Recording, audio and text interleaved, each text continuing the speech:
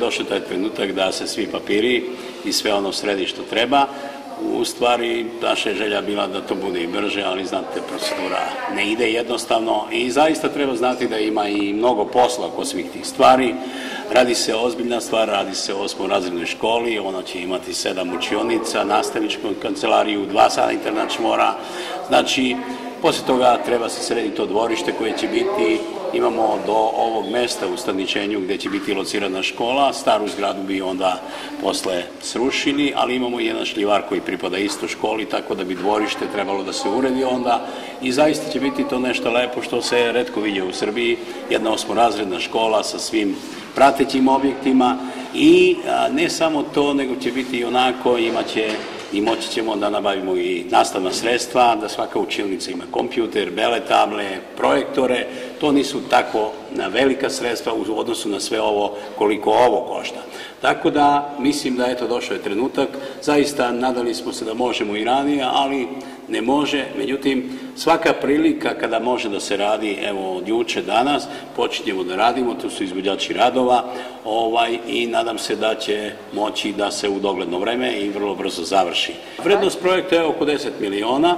znači vidjet ćemo po končanoj situaciji, tako da, ali u suštini znači bit će nešto jako dobro za selo, za okolna sela i mislim ako je po ovoj prilici da nam je ovo selo stanišenje življe selo od ostalih u okolini,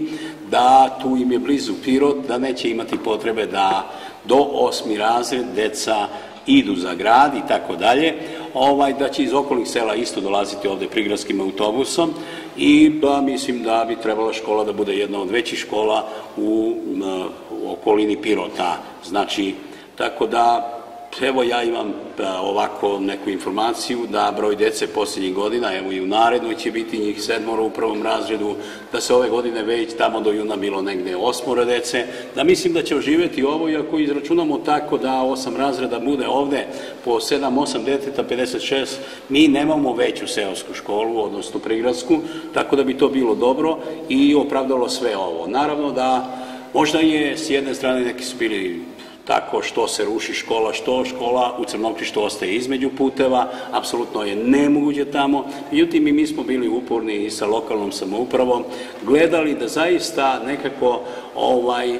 rešimo taj problem bezbednosti dece i prva situacija koja je ovde, to nije daleko od koridora, da bude ovde u staničenju i zbog broja dece koja su i milion drugih razloga smo naveli zašto baš ovde škola, da je ovo selo življe, da ipak treba decu skloniti malo, da iz ovih drugih sela mogu da dođu i mislim da će opravdati sigurno poverenje. Ostaje na ovim ljudima ovde u selu da budu zahvalni, da se tako sete da se ovo radi zbog njih, da i oni u selu više posvete pažnju svemu onome što je interesantno da bi što god više ostali, jer šta je tu na deseta kilometara od Pirota, znači može da se svakodnevno putuje što se tiče oni koji rade u Pirotu, oni koji ovde otvaraju nešto u selu, tako da mislim da bi trebalo da bude sve dobro.